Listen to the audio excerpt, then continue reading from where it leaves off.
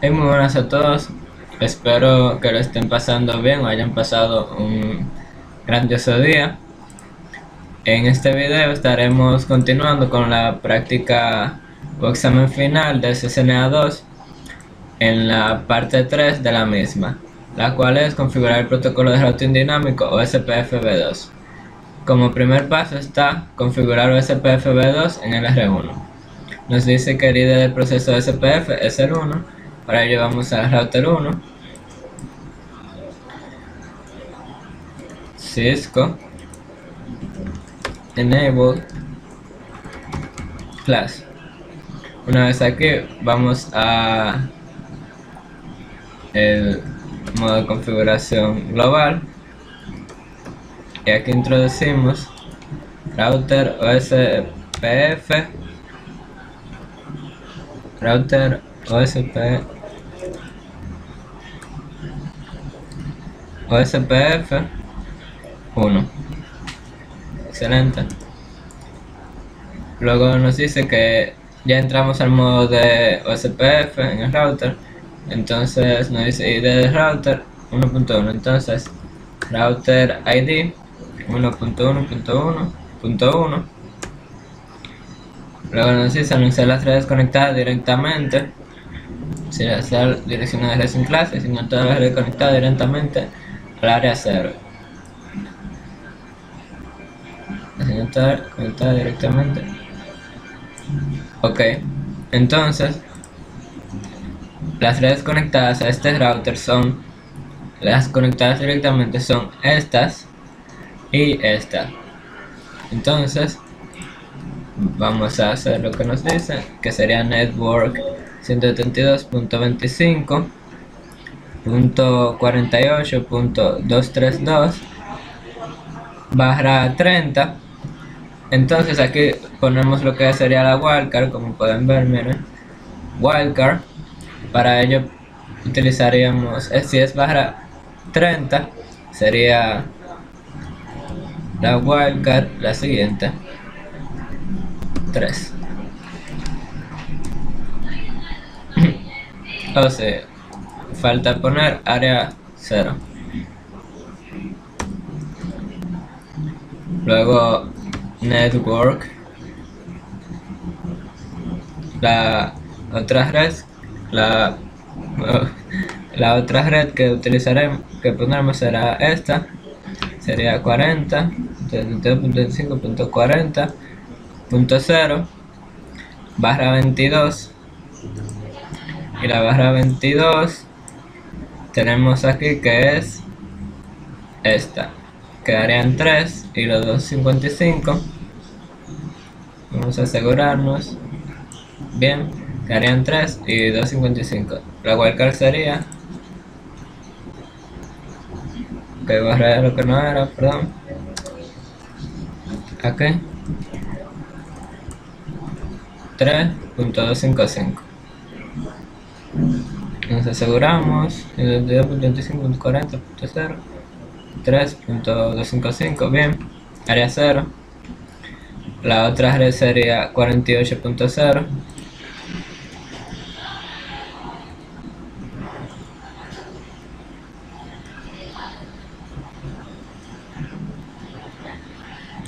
48.0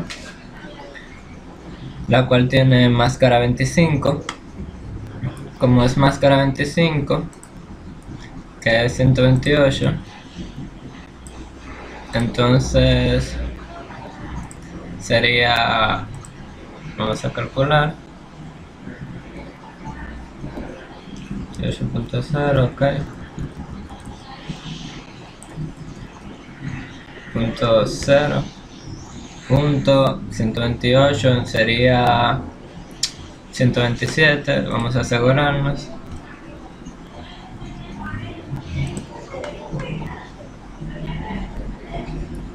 Ok tenemos que 128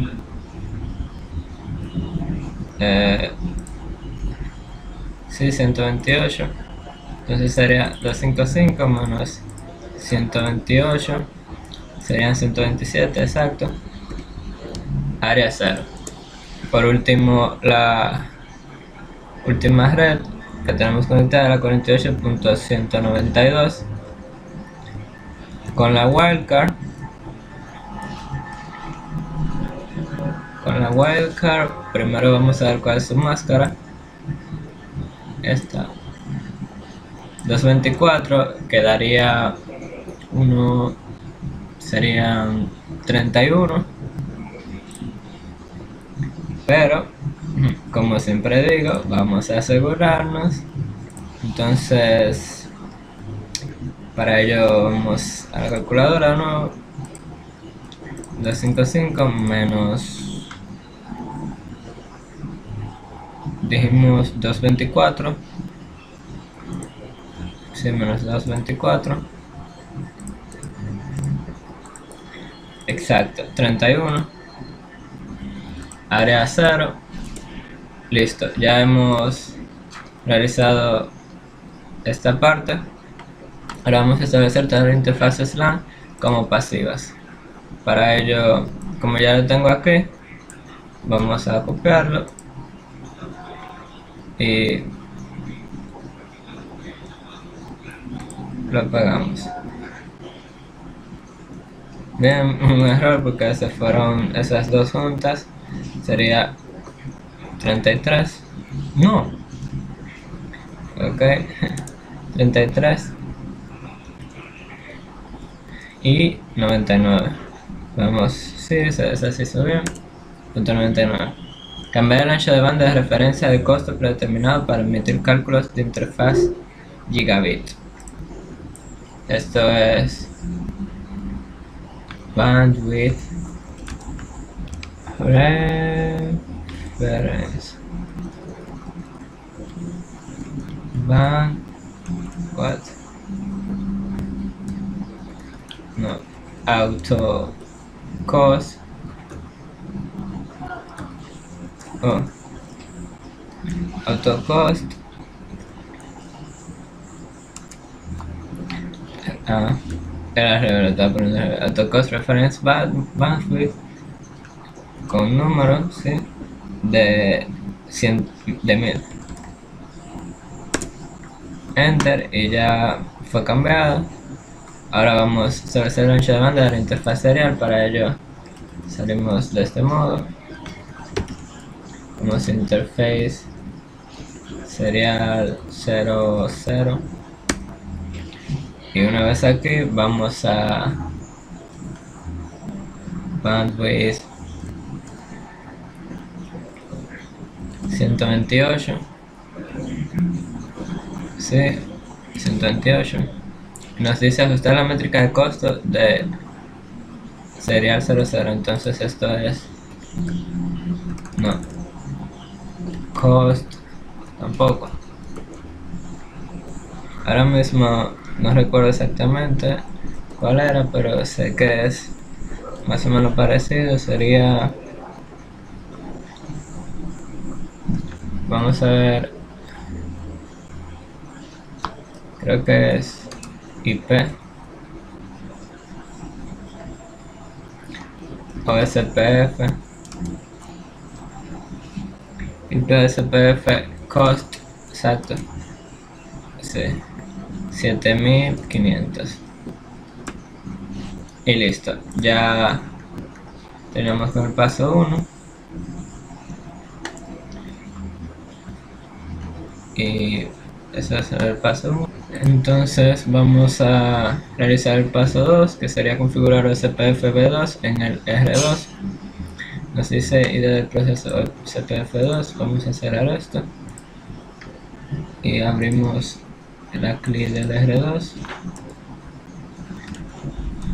Cisco Enable Class nos dice ID del proceso SPF1 entonces primero vamos a la configuración global luego router OSPF1 aquí router ID nos dice que es el 2.2.2.2 luego anunciar las redes conectadas directamente utilizar direcciones sin clase y omitir las redes la red gigabit 00 bueno, estamos trabajando aquí, dice que omitamos la red gigabit 00, es decir, esta. Quiere decir que no la vamos a incluir en lo que vamos a hacer ahora. Eh, es decir, en el anunciamiento no la vamos a incluir y vamos a trabajar con esta, con esta y con esta. Para ello vamos a poner network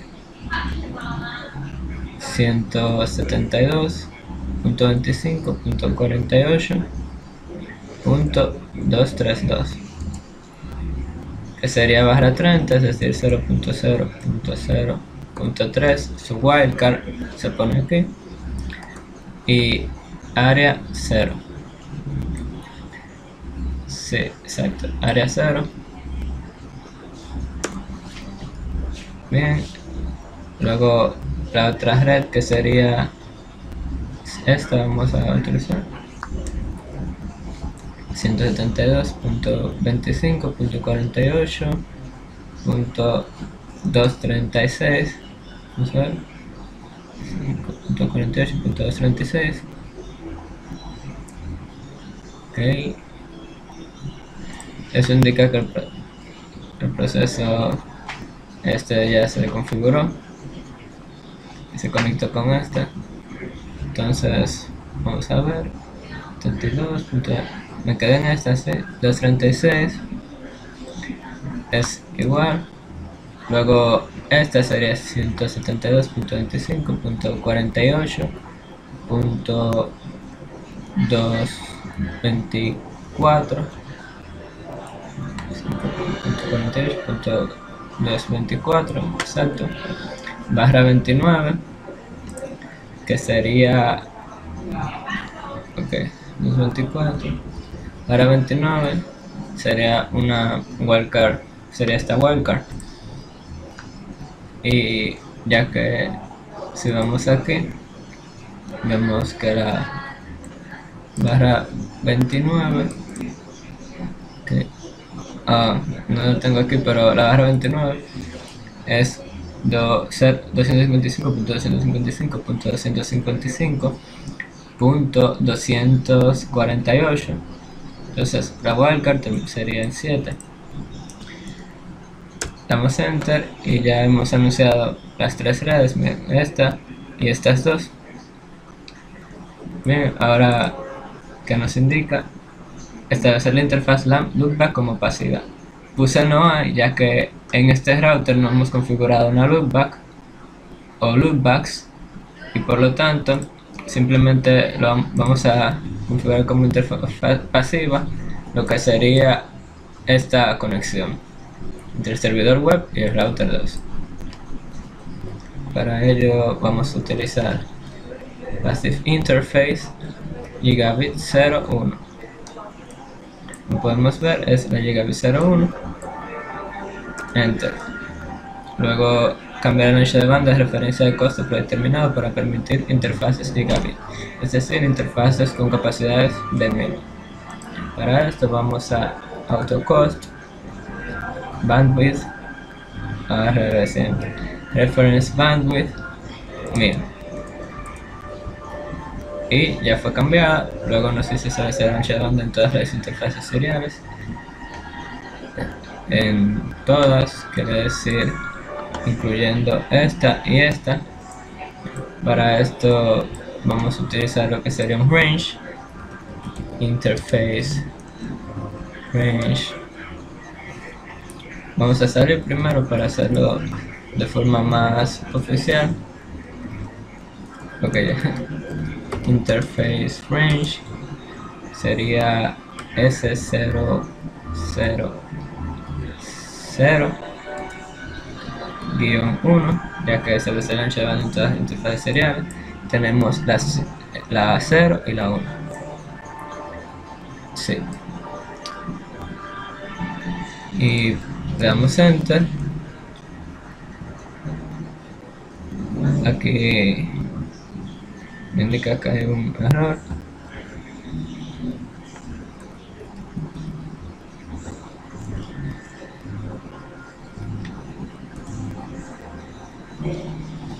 Ah, ok, no puedo trabajar con dos aparecer con dos interfaces. Seriales a la vez. No, hay problema entonces vamos a la primera. Interface range. Ah pero puedo poner range. Interface sería el 000 me dice que manden todas las interfaces. Seriales entonces le, eso se pone con bandwidth 128 ahora vamos a salir entramos a la interfaz serial 01 y le ponemos lo mismo.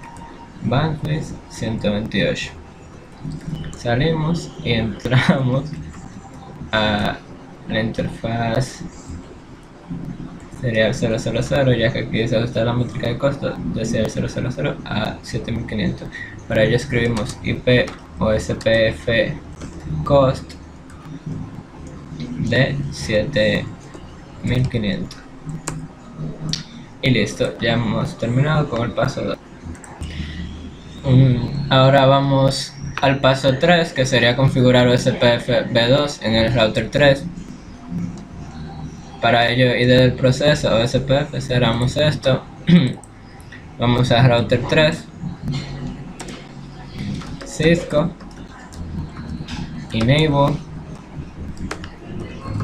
Class.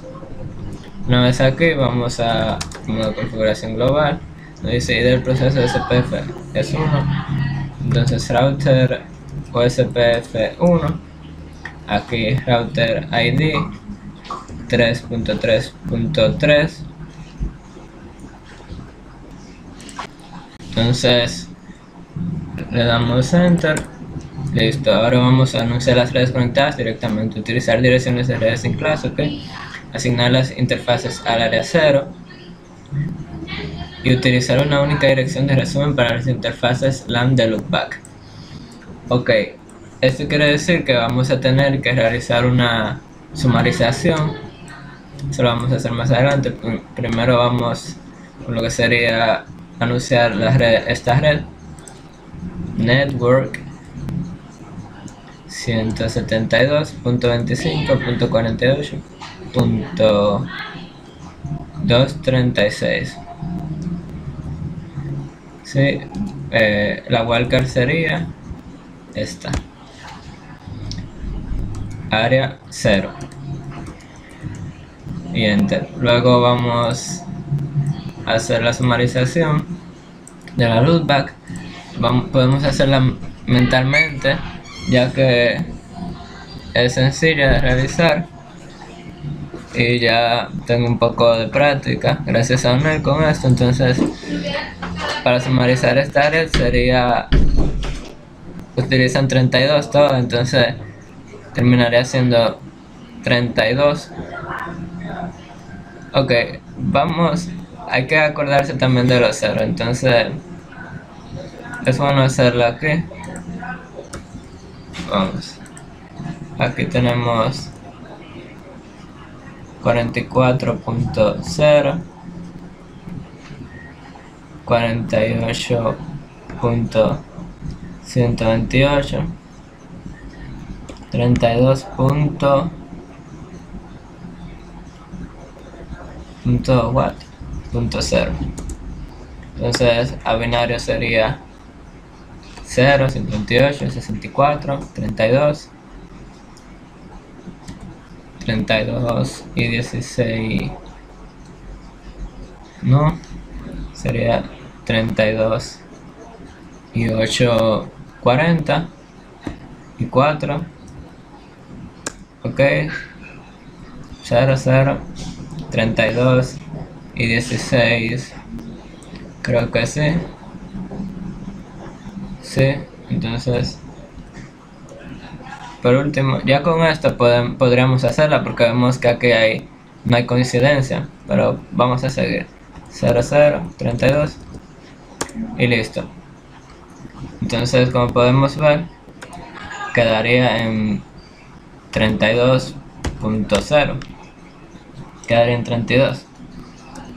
Entonces, la red sería 172.25 la red me refiero, punto 32.0 barra vamos hasta donde tienen coincidencias. Esta difiere aquí entonces es hasta aquí.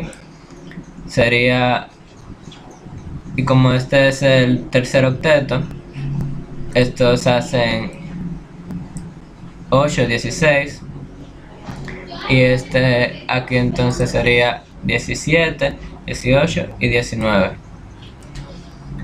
por lo tanto tenemos que la red sumarizada es 172.25.32.0 barra 19 bien como ya conocemos esto podemos introducir información aquí. Sería network 172.25.32.0 dijimos. Barra 19 entonces su wildcard sería veamos 8 16 17 18 19 eso sería eh, ah, aquí la tengo ¿sí? entonces sería no está mal eso vamos a arreglarla. Bien, entonces decimos que barra 19 es 8, 16, 7, 18, 19 quedaría 128 más 64 que es 192 más 32 224 esto está mal ahí. Ahora sí 224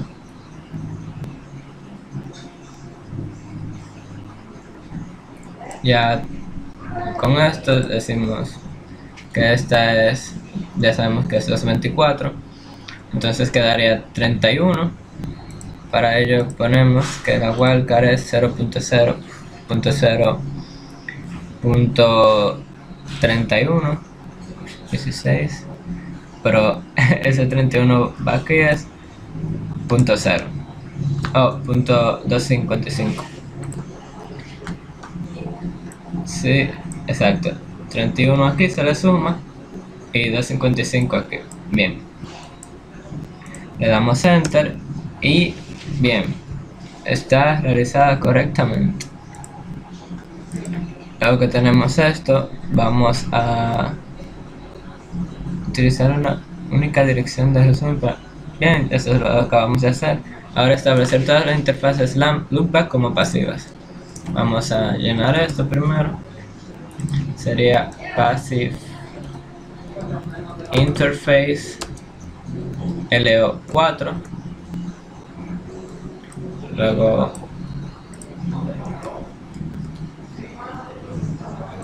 Ok. 6 y 5. Esas fueron las que configuramos en la primera parte, si bien recuerdo. Entonces vamos a Passive Interface, Lookback 4, Passive Interface, Lookback 5 y Lookback 6. Bien, ahora cambiar el ancho de banda de referencia, costo para admitir cálculos de interfaz gigabit. Para ello utilizamos AutoCost autocost reference. Es largo así que voy a tabular. Reference band bandwidth 1000 bien fue cambiada. Por último se el ancho de banda de la interfaz serial para ellos para ello vamos a la interfaz serial 000 sí esa es exacto es esa a 000 y le ponemos bandwidth de 128 ya terminamos este paso que sería configurar el router 3 ahora vamos al paso 4 verificar la información de OSPF verifique que OSPF funcione como se espera introduzca el comando de CLI adecuado para obtener la siguiente información con siguiente información se refiere a esta Entonces vamos a introducir estos comandos para ver si el OSPF está funcionando como debería. Estos comandos realizan estas funciones. Es un poco extenso, así que no voy a leerlo. Pero ustedes pueden leerlo ahí. Y bien, vamos a ello.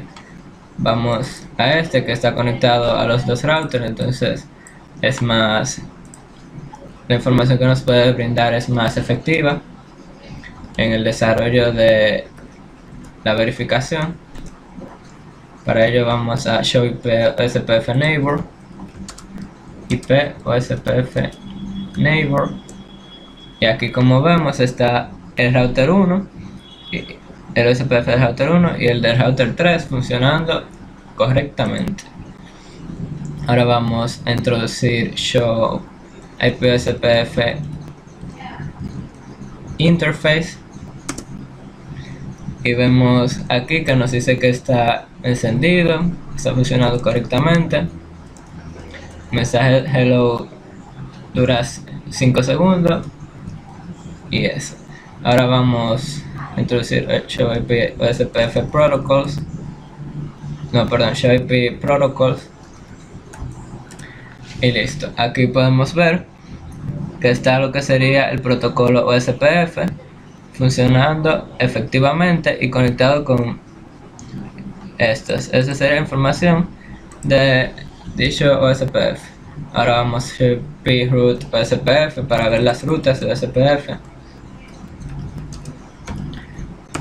Bien, aquí están sus rutas y está como ven funcionando efectivamente hacia el router C, hacia el router 1 y hacia el router 3.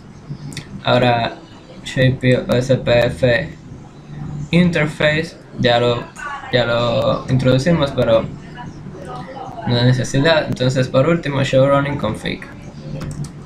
Esto para ver la configuración que se está ejecutando actualmente y con relación al SPF podemos buscar dicha información más abajo que sería eh, está aquí como podemos ver aquí, nos dice toda la información que hemos configurado sobre dicho OSPF. Esto sería el fin de, el de la parte 3. En el próximo video estaremos con la parte 4.